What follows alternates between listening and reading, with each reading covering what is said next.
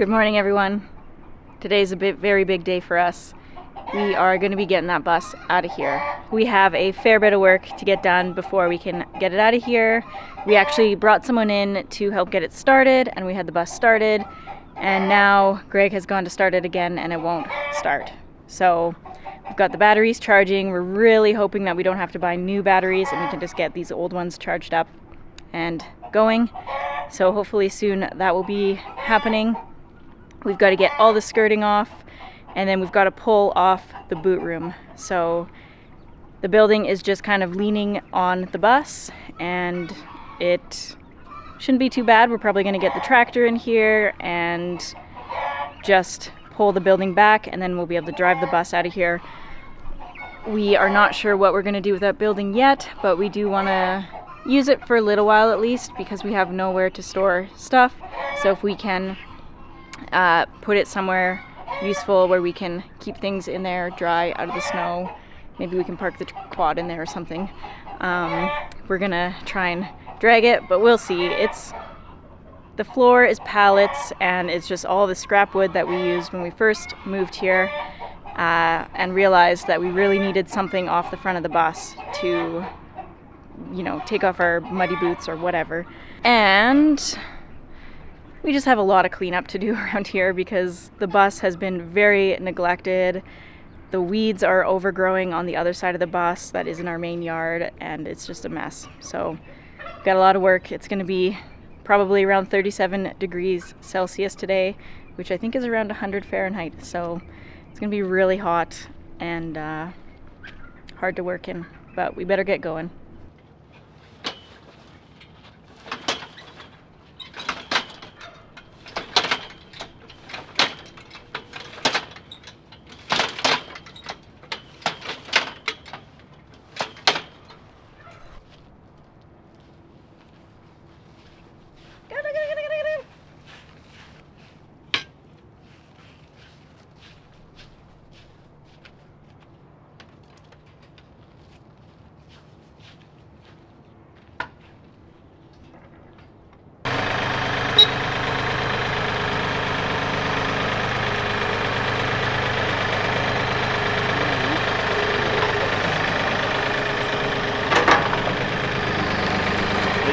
All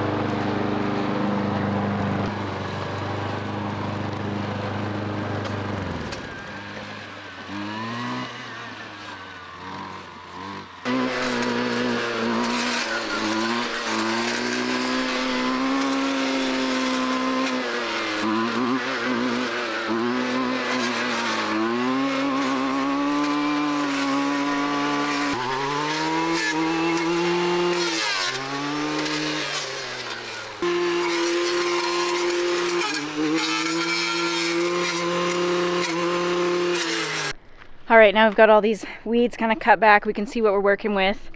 We're gonna pull down the fence and then we'll be able to just bring, we'll have to just sort through what we've got as the skirting for throwaway or keep.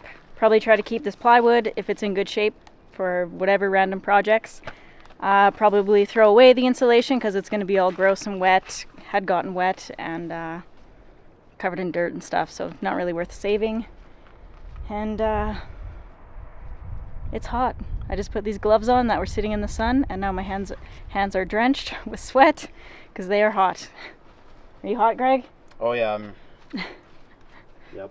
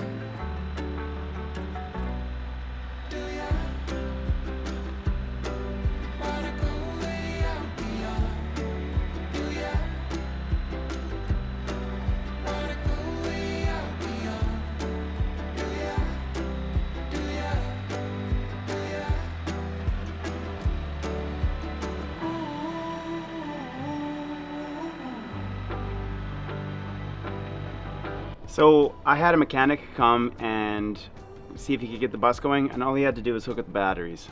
but I haven't been able to get the bus to start today, so uh, I charged it up a little bit, and let's see if it'll go.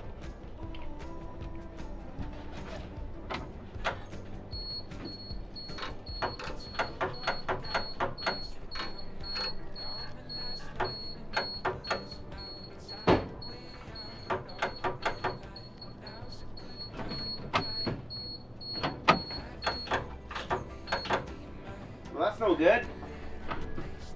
I guess I'm gonna have to get the mechanic to start the bus again. Sucks. Sucks. Good thing he's the one driving it.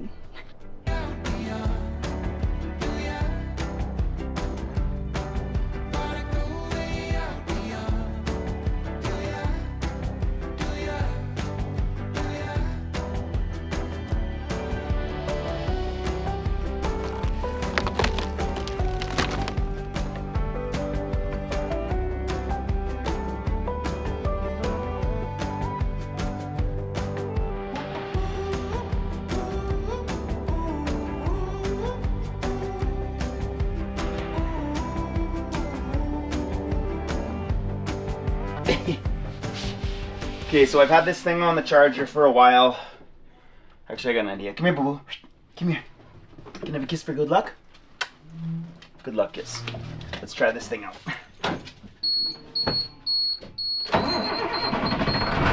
Oh, yeah! Was like, I'm out of here! I'm out of here, man!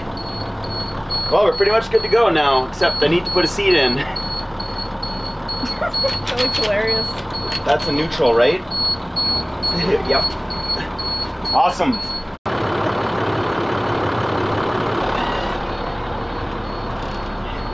I'm happy about that. This is good. Are you ready to lose the bus, Katie? Feeling a little sad. It's just sad. This is our home for quite a while. Someone else is home now. Here we go! Turn it off!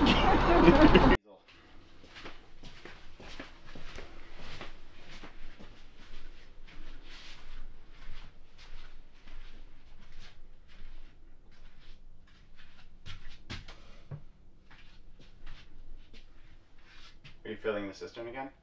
Mhm.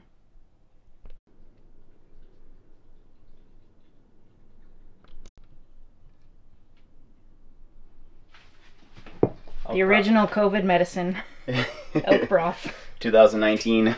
saved our lives from the drunk, junk graveyard. From the hiding spot. How do I undo this? I went down with it. How does it go back up? Oh, that, that must be how. Oh.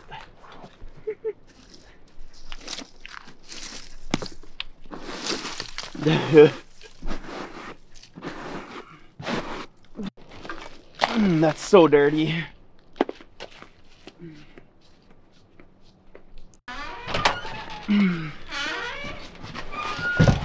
Is that ever heavy?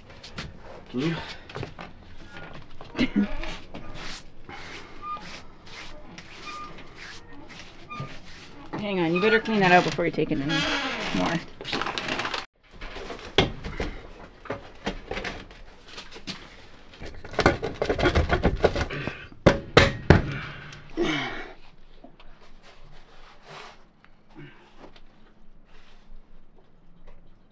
All right, Greg is going under the bus, and I'm going to hold the top of the uh, bolts in place while he puts the nuts on. And we'll get the seat secured.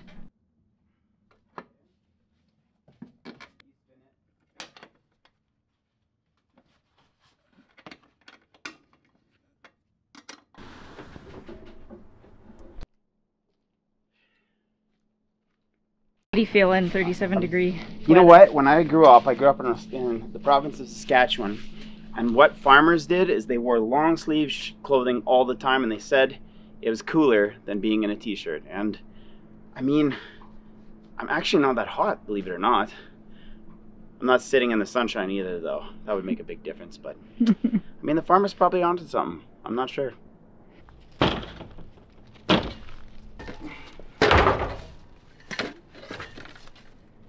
You want to dig up the uh, P tube? Not a chance. but I kind of have to.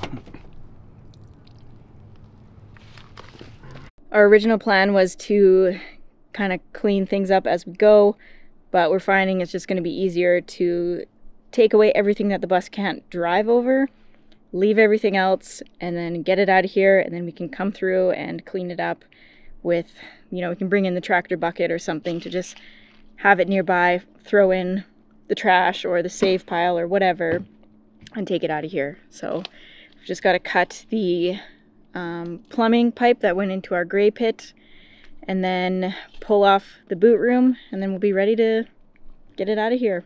We're gonna get it out of the driveway and park it at the top so that tomorrow morning when this person comes to drive it on the main roads, it'll just be straightforward. They can just jump in and go and get it to its new spot.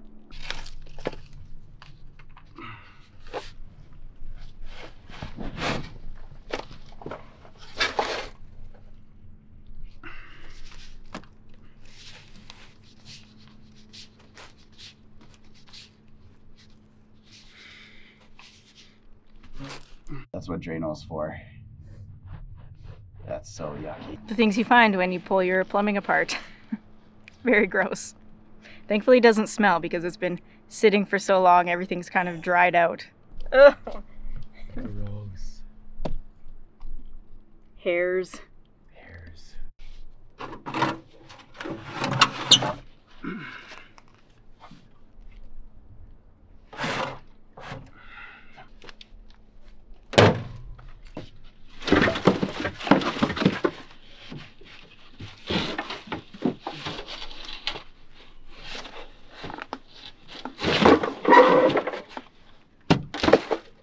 So we were thinking about pulling the boot room off of the bus, just pulling it back that way. But Greg thinks that he'll be able to maneuver the bus just past it. It's not attached at all. It's just the roof is just built up over top of the bus. So I guess we'll try to move the bus and see what happens and then decide if we're going to pull it off or not. If we can just zip it past without really doing anything to the boot room, then that would be a lot easier for us. So, in a true this off grid life fashion, we're just gonna wing it and see what happens with the back blade. Yeah. So I'm gonna come in here with my tractor. I've got quite a bit of dirt piled up here. This is originally where we had our cistern.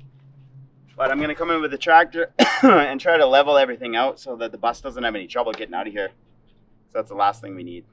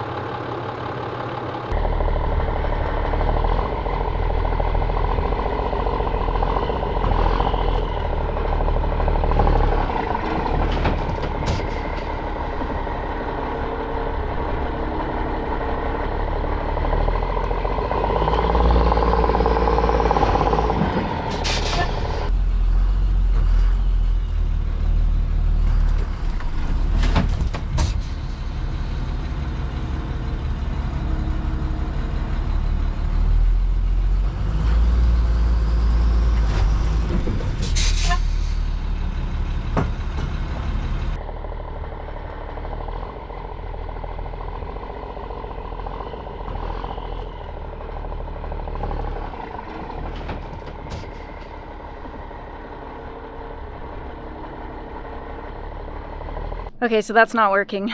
We're gonna have to pull the boot room away. Uh, which I think is it's good that it didn't go because we do have the roof vents and stuff on top, and then the the roof of the boot room goes over the bus. So we probably would have broke something if it did work. So I think this was just the universe or whatever saying no, that's not the right way to do it. So we're gonna get the tractor in here, get some straps, I guess, Chain. and and chain and pull it away from the bus.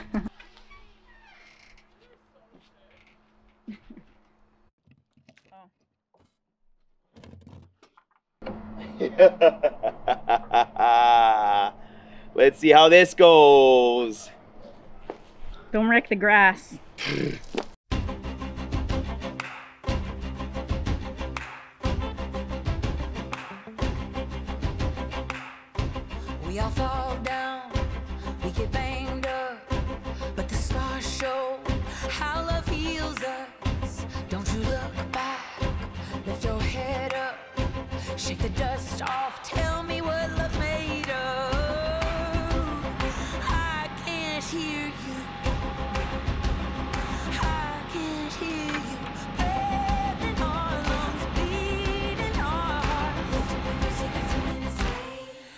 a brand new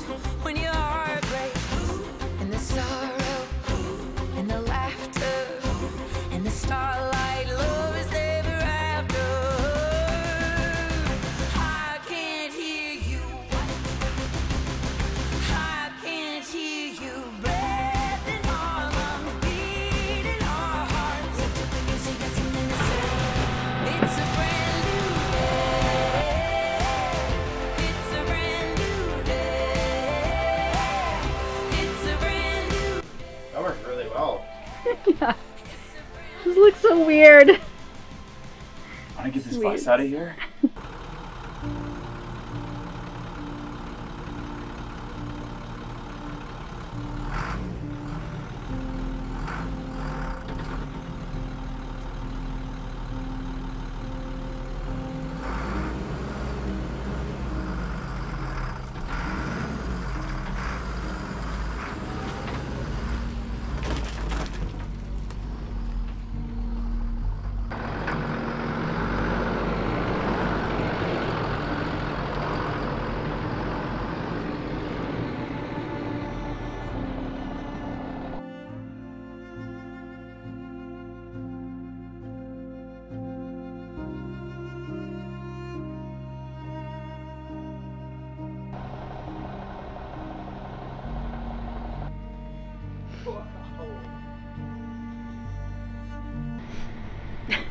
You crying, Katie? Yeah, I just had a meltdown. the bus was that? driving away. It's a mess underneath there. This right here, we never touched this ground. Right here. It's always been underneath the bus. And this is cool. We can do something with this. No. it's, it's a big change. It feels so empty here now, even though there's shit everywhere. It's just like it was always kind of like the the line of our yard, I guess. You know, we had the bus and then everything over there was the yard and our space. And now it's just like wide open and just crazy. Feels crazy. Feels chaotic. Feels sad. But I'm very grateful that we had the bus to go home. Big changes.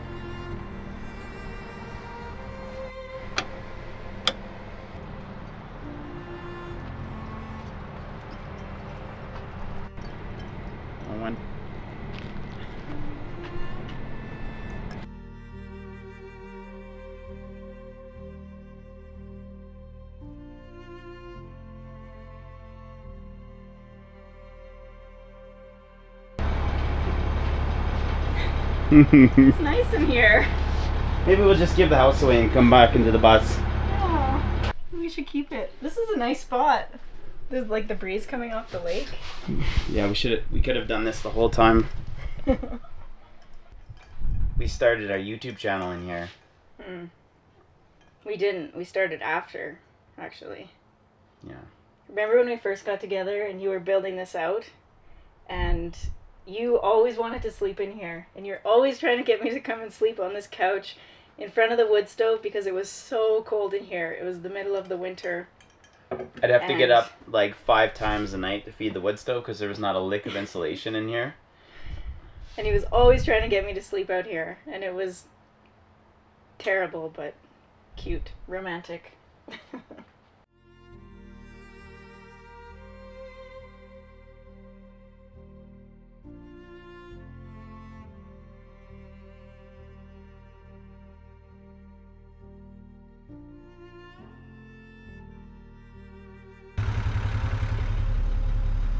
Okay, we're gonna get the bus through our driveway, through all of the tight spots in the forest, and uh, park it where it's easy for the person to drive it tomorrow.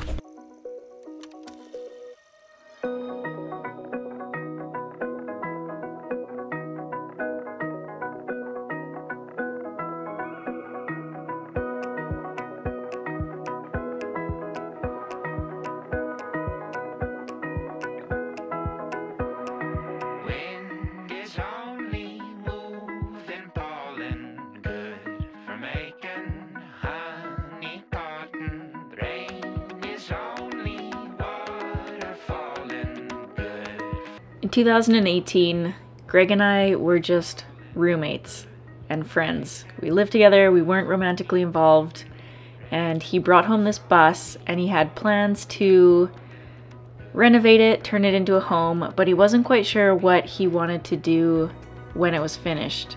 He could either take it on road trips or he could find property and live in the bus. It was right around the time that we first started seeing each other in a new way, and Greg had heard about a piece of property and we went out to look at it. I wasn't too sure, but he was really into it, and so he pulled the trigger and decided to buy it.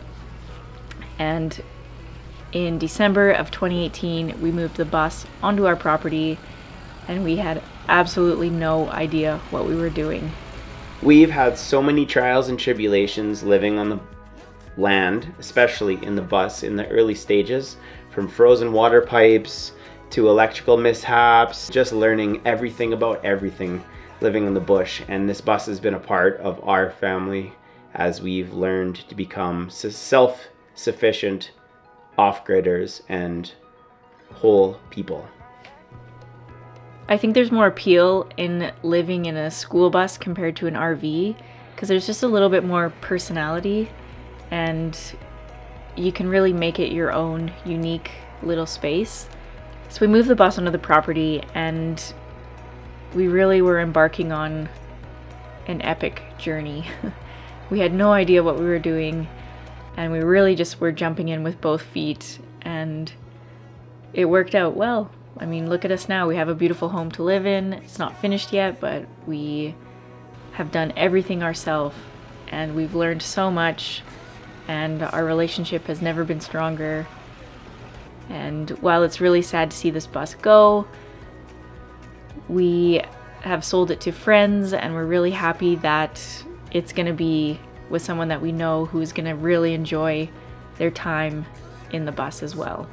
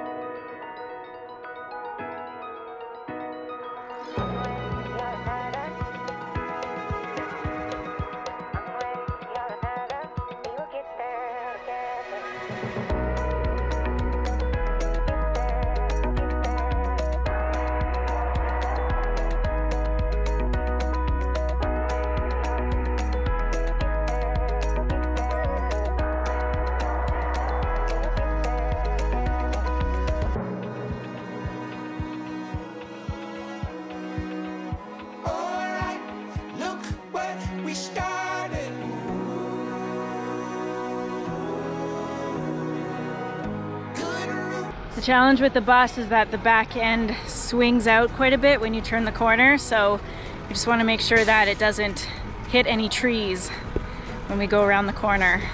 So far, so good.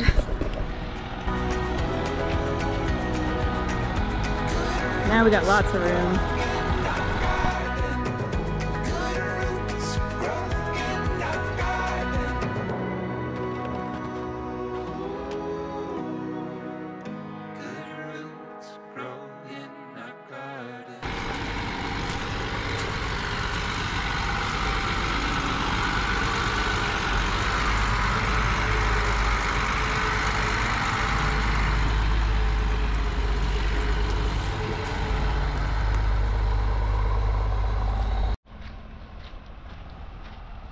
Juniper, stay. Stay.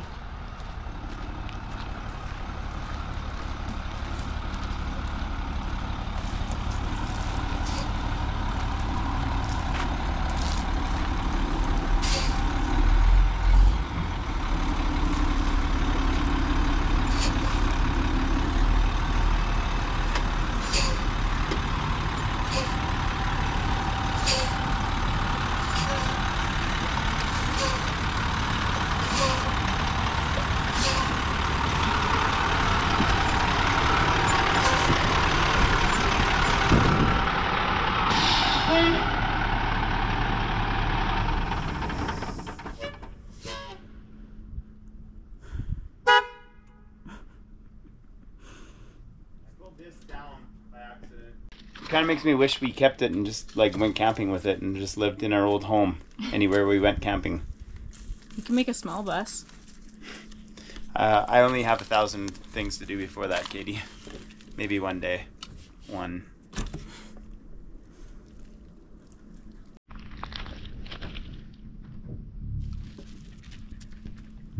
You don't even know about bus life, Juniper. All right, this is where she stays for the night. That went pretty smoothly, I think. I'd say. No issues at all.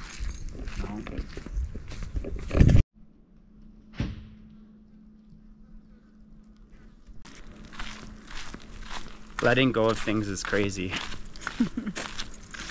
Walking away from the bus. Uh-huh. I feel weird. You're all messed up, I'm all messed up. emotional style. Yeah.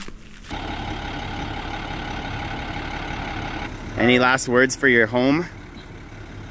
I walked in and, and like the smell of the bus, the familiar smell. I said to Greg, "It smells like home in here." it's uh, it's a Bitter- bit weird. It's bittersweet. Yeah. It's bittersweet.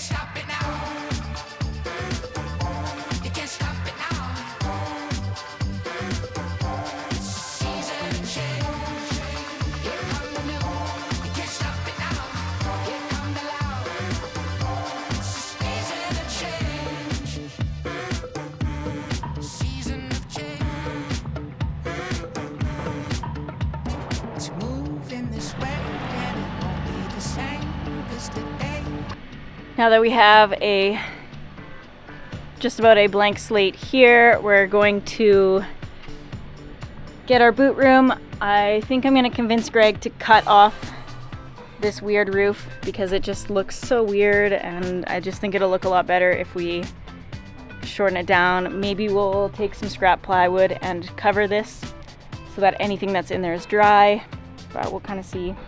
So we're gonna drag that over next to the house so that it's out of the way.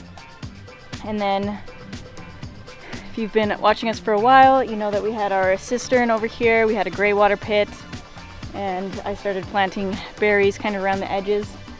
So we're gonna, this is actually a lot higher over there than it is behind me. So we're gonna try and bring some of this dirt down just to level it out. And then we also want to swale the earth a little bit so that when the water comes down our driveway, it's gonna go off into the forest and not all into here because we, we end up with a ton of sediment and stuff just building up wherever the, the water slows down. So yeah, we do have a huge bag of grass seed. It's a little bit old, so I'm not sure if it'll grow, but we are thinking about just getting some grass down here right away if we can. See how it does because it is the middle of summer. It's pretty warm out, so we'll see how that goes.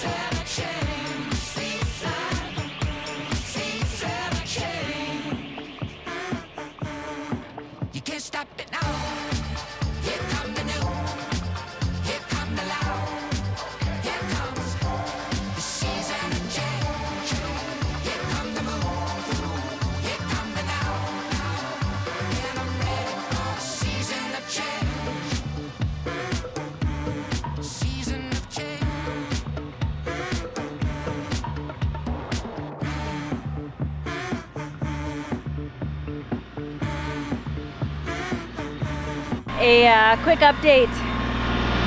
Greg has just been moving a lot of earth. I've been digging out the lilac bush because it had a lot of soil built up around it from when we dug out the cistern. We uh, took down our fence and we're just kind of leveling this out a bit better. If we can, plant some grass here so that the weeds aren't taking over, it would be really nice. But yeah, we're just gonna push this dirt back that way just to give it a little bit more flat space.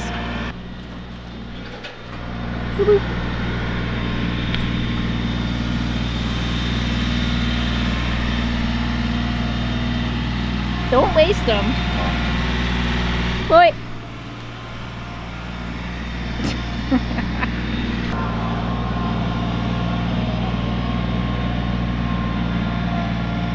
Before we continue on any further, we're gonna get this boot room pulled over, I think just over there at the edge of the bushes until we figure out what we're doing with it. I'm not even sure if we need to keep it because now that we don't have animals in here, I wanna get this cleaned out. I wanna pull off this front wall so that we can go in and out easily. We can kind of beef up the sides a little bit so that anything that's inside of there is dry. And then I think we might have like a good workshop sort of area. We've got a, when I was in the city on my trip, I went to Home Depot and got a brand new planer, which I'm really excited to use. I hope we get to try it out soon. But we're gonna get everything set up in here so that we just have all of our big tools nice and safe in there. And we do eventually want to get rid of this stru- structure as well, but we need to use it as a workspace. we should have built a workspace first, but we didn't. We like to do things wonky around here. right? When the farmers settled in Saskatchewan, they built a barn for the animals and they slept with their animals. And then they built their home. They needed a workspace. we need a workspace. Yes. So we're gonna get this old boot room pulled out of the way. And then we're gonna have a beautiful lake view from our living room. Hell yeah. Juniper, out. Come on.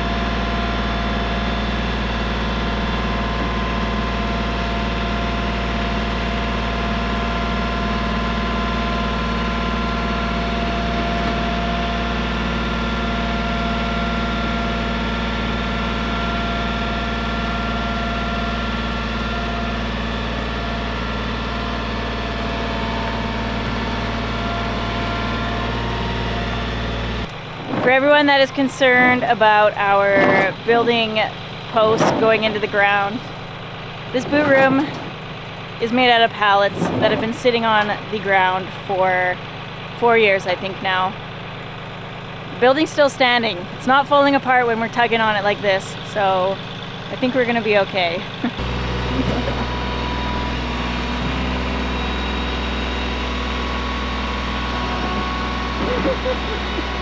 oh my goodness!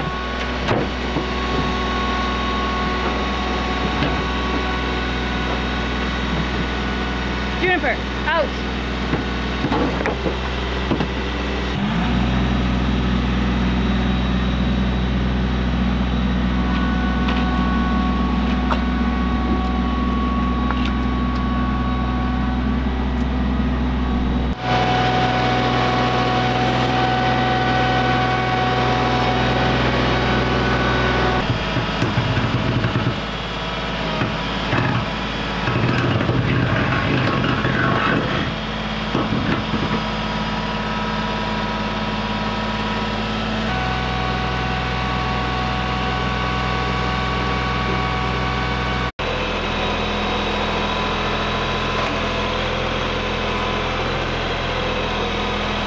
I can now try to curl it.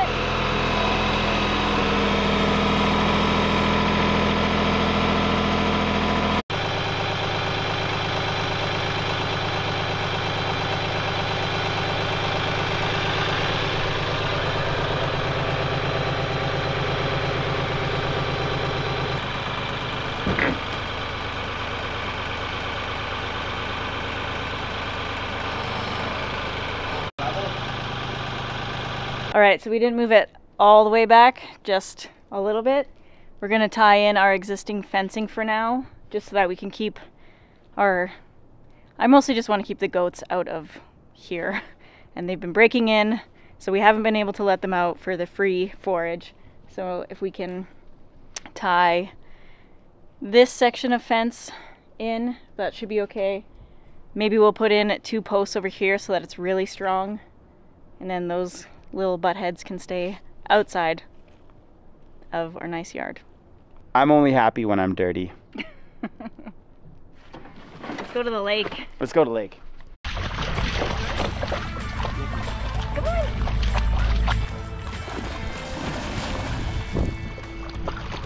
Come on, cold juniper. Oh, come on, boo boo. Let's go. Go get her.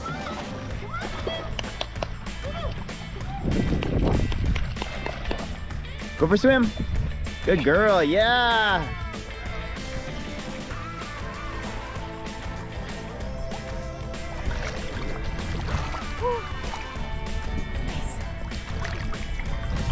Can you do a dance underwater? No. Come on, do a dance.